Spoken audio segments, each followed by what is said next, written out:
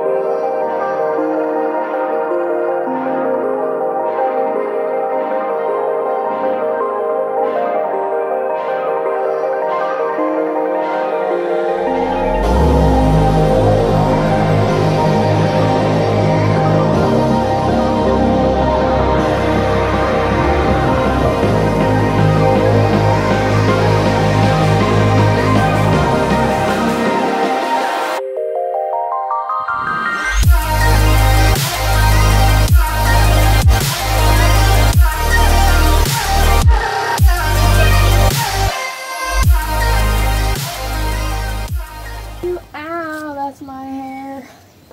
Give it back.